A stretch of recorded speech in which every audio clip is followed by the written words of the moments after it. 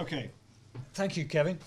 Um, the report we produced, there's probably about four or five big messages. And the four or five big messages start from the, the headline one, which is on the slide there, that says that when you look at the magnificent database which has been put together by colleagues at Imperial College, over the, the last 30 years, or slightly less than 30 years, the numbers of people who are overweight and obese in the developing world has trebled.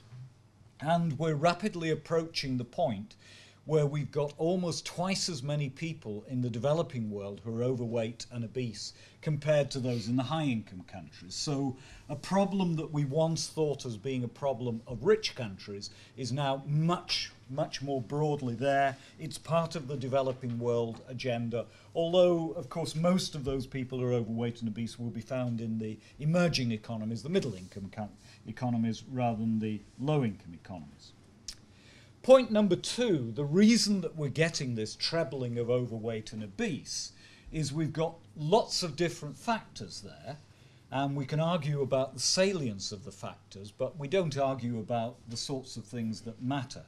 And on the scratch pad are the importance of higher incomes, which allows the emerging middle class to choose a diet purely on the basis of taste rather than the limitations of budget and that's seeing people move to more livestock products, more fruit, vegetable, more dairy products, more fish, and so on. But included in that, quite a lot more processed foods and quite a lot more foods which are rich in their content of fat and rich in their content of sugar. We're also seeing, you know, a triumph of the of, of the food industry in in which um, cheap accessible, easy to prepare, convenience foods are available to eat at home or, or outside of the home uh, very easily across the urbanizing developing world. We're seeing the influence of advertising and media in film and television, which is transmitting new ideas about what a, what a, desirable diet may be. And We've got increasingly sedentary lives in most of the middle income countries as people move from the manual labour of the fields uh, into services um, using up much less energy. And the conflation of those factors has resulted in the expanding waistlines that we're seeing at the moment. Now, we shouldn't exaggerate the globalizing forces. The globalizing forces are, are there the general pattern of a, uh, of a nutritional transition from dependence on staples to a more varied diet, to a diet with a lot more livestock in it, that can be seen everywhere. But there are some very, very large regional variations. This is a map put together and on the basis of this rather large database from colleagues at, at Imperial and, and their colleagues across the world.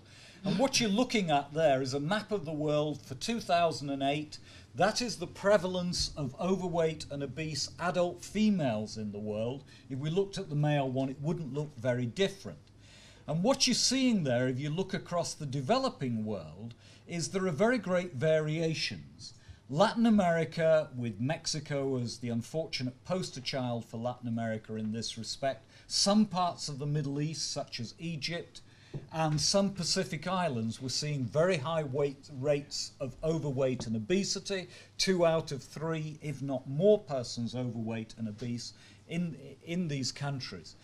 Yet there are other parts of the developing world, of the middle income world, particularly in Southeast Asia, South Asia, and parts of East Asia, where the incidence is running at about half the level that we're seeing in those other areas. Now, what that tells us if we're seeing that much variation, is there are different pathways. And whilst waistlines may be expanding across the world, the rate of expansion and the degree of expansion is different. So there must be lessons to be learned from the countries with lower incidence compared to those with higher prevalence. On policy, the news is not good. Unlike undernutrition, where we know pretty much what is needed to be done to reduce incidence of undernutrition and where the statistics are moving, albeit too slowly, in the right direction for overnutrition, nowhere in the world has stemmed the rising tide of obesity. Um, the policies which have been taken by countries have been at best cautious, perhaps better labelled, frankly, quite timid. Uh, and as a result, we don't have a lot in the in the tool chest where we can say this will definitely work. We're still in this. We're still at the stage where we're saying we need to evaluate policies. We need to try out a wider range of policies, combinations of policies to find out what may work. And that question of what may work is something that I hope we may hear a little more about today um, from my companion speakers. Thanks very much, Steve. Steve, be, before I pass on, let, let, me just ask you one question, if I could, uh, by way of follow-up. Um, you, you, know, as, as, you said, that one of the central messages of the report, you know, is that you know we're, we're facing these huge challenges, but the responses have been very timid.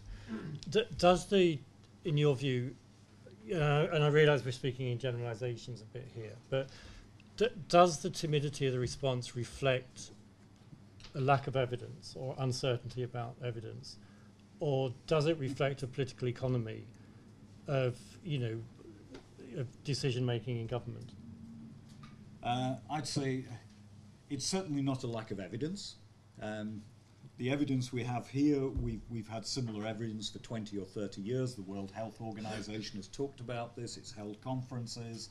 Um, I think probably one of, one of the biggest factors we've got here is it's a slowly rising po- uh, problem and it doesn't result in headline making disasters.